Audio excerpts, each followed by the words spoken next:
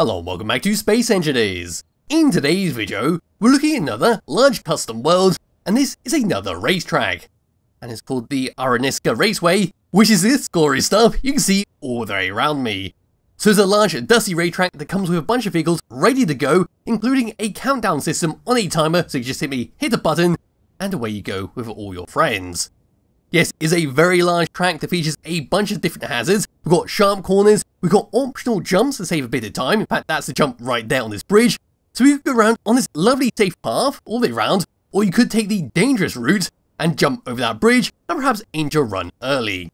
We've got lots of different points of interest all around this track. So to come over to this part. We've got a rundown water tower, we've got crash ships, and we do have a few signposts here and there to tell you what's going on and to point you in the right direction.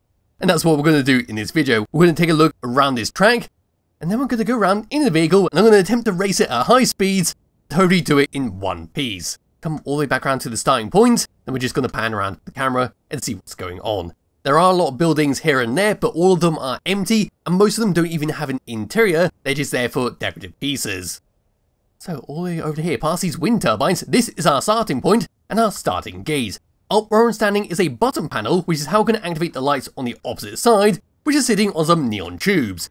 We also have an LCD screen that'll light up, we'll see that a bit later on. And the way we get all the way up to there is through a ladder system right down here. We come through this passage, up the ladder, then up and over to the place where I'm standing. Right next to it, and on the opposite side, got our audience seat, which is a bunch of seats on some magnetic plates, so we sit there and watch how the race starts, and how it ends. We also have a safety barrier as well right in front of it, make sure you don't slam into them, on the opposite side next to our audience stand, we do have a big billboard with some flying cola and a watchtower. Come all the way up to it. We do have to wait to climb up to it naturally. That's all it is. It allows you to peer down at the race to see what's going on. Were to move over to this part right here, this is your garage. We can repair up the vehicles, customize it, or even build your own vehicle if you do want to use the default ones that spawn naturally in this world. We've got a few shelves around the room, we've got lockers in the back, and some lovely windows above us that give you a good clear view of what you're building.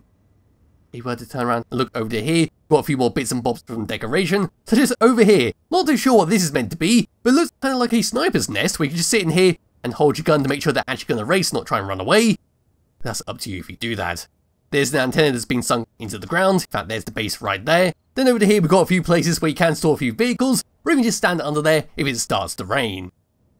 If we were to peer over to this section, we've got a few buildings, which once again do not have a proper interior. In fact, the doors are completely blocked up with steel blocks.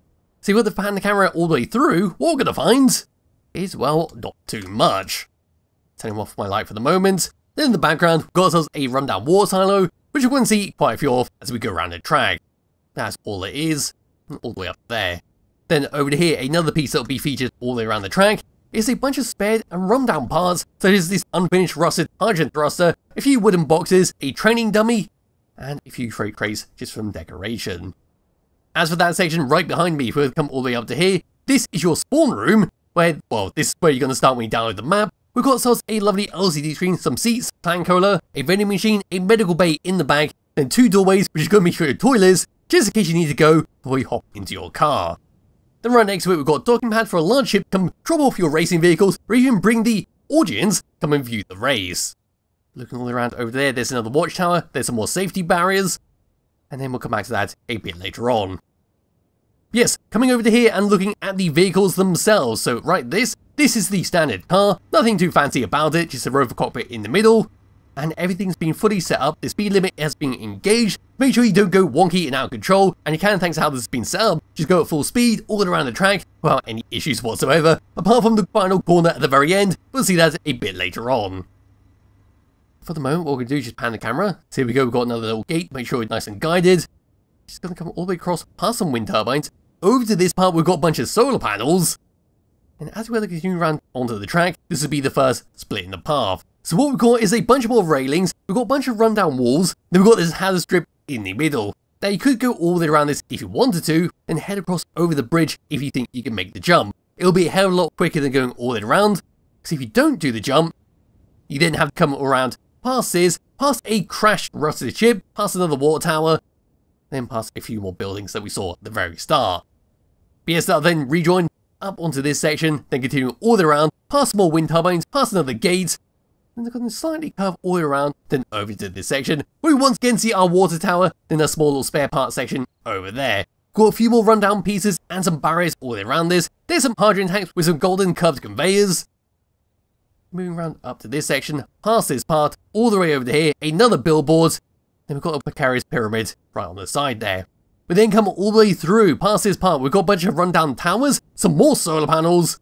That's going to come up to this part, where we're going to start to turn around and then go down into a ravine. That's going to pass another billboard, and this is the first dangerous point on the track, where you could slam into the wall, but luckily because block destruction is turned off, not too much is going to happen, but you could easily flip this thing over and lose a lot of time. Then we come all the way down to here, we've got a lovely building in the wall. Once again, you can't see anything on the inside, purely there for decoration. And it's going to come down into this part, we're going to go to a small rundown city.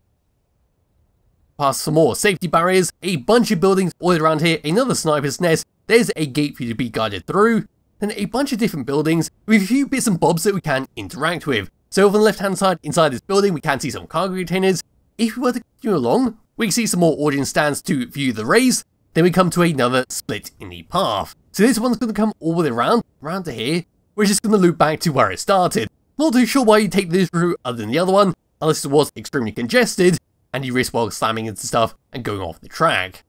If we look around over to this part, we've got this little pillar in the middle, but behind this, and into here, we then have a fully set up building where we can walk inside and see we've got some tables, some counter blocks, and a few lights. Onto the side of this thing, we've got a few very odd looking vehicles. We've got one with a bunch of wheels on there with some grinders, and then got some kind of like a speeder from Star Wars. And behind there, we've got another building which we can go inside. There we go, but it doesn't have any actual decorations. It would have come out and then continue along, a few more buildings, some more water towers, and over here, we can see another door to go inside. This time, this one is open. Then in the middle here, we've got ourselves a battery and not too much else. So there is plenty of places for you to decorate if you wanted to. That would add to the block count and could make it a bit performance heavy if you were to go around and do it to all the buildings. Continuing along, another billboard, another little sniper tower, a few more houses, there's another gate. That'll lead up to this part where we're starting to get to the end section. We've got a bunch of large cargo containers, going all the way around this area. We then got some spotlights, nice little arrows, another little building with not too much going on in the middle here, but we do have windows. And out we come, up to here, past these wind turbines, past another sniper tower, past this gate.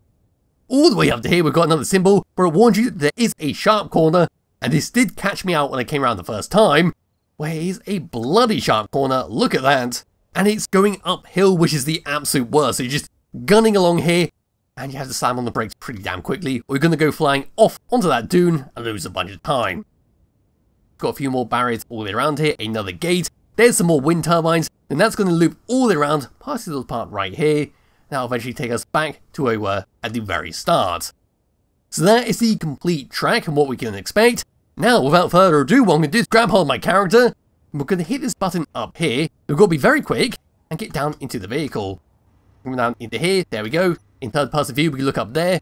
We can see that we are ready to go. We did miss countdown timer. We can see the flag right there, and the LCD screen has lit up and says to go. So undo the parking brake and moving forwards, first person view, here we go at full speed, all around this track properly. And yes, this vehicle will cap out at about 54 meters per second. But there are solar panels, and I'm not going to do the jump. In fact, I might do the jump at the very end.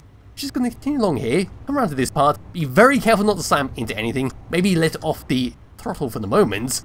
I'm just going to come around this, past that crash ship, and we've got to be very careful of these little rocks right here. Now that's where the path rejoins. Then we're going to come to this, have a slight corner to the right.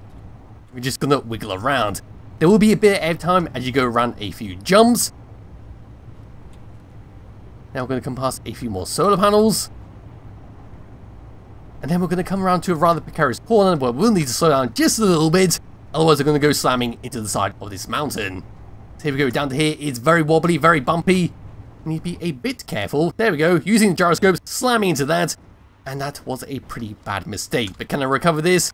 No, I cannot, so we're going to have to use the gyroscopes. Now just continue along on the journey. So there's that building in the wall. And he's driving along here. Now we're going to come down to that big city we just saw. So all the way past this, in fact what I might do is actually come around into this part so slowing down, slamming on the brakes, And we're just going to take a little detour around all these houses. There's some more unfinished thrusters, all the way around. We're now going to rejoin at this middle pillar. There's those little vehicles. And now we continue up to those cargo containers that'll eventually lead up to that very sharp corner. So now we're just going to gun it and head towards the finish line. Very careful now. And any second now we're going to see that LCD screen telling us the warning. And we need to be very, very quick on the brakes. So here we go, there is the warning sign. And you will need to slam on the brakes just a little bit. And I don't think I was doing it in time. Yes, I did. I thought I had a bit of air there. And we're just going to come around and now back towards the stars. So on this part, is perfectly fine just to gun it at full speed. And here we go. Got to be careful of the cars at the front there. And in a few seconds, now we're just going to go and cross the finish line. There we go. Now Sam on the brakes. And that is that, the full-on race course. So what I'll do to finish off this video is now come back round and continue over to that bridge that we just saw. I don't know why I just did the U-turn there. Let's just go and go along towards that bridge and just do a little jump and that'll be the end of this video. So here we go, we'll be a little bit careful, we'll do this in third person view so we can actually see what's going on. Very careful here, it's a bit bouncy. Now we're just going to come over to this part right here. Don't know why I just hit, but now I'm going to try and realign this. And that should be okay to do. We're just going to go back over here to make sure I've got a bit more speed. And you could always raise that up if you want to. But I'm not going to do that for the moment. We're just going to reverse all the way up. And turn all around. And now we're going to attempt to jump the bridge to see how bad this actually is. So we can see the ramp right there. There's a few holes in the floor. And yes, that would save a hell of a lot of time. But it looks like you could go horribly wrong at the end there and slam into that building. Yes, other than that, that's pretty much it.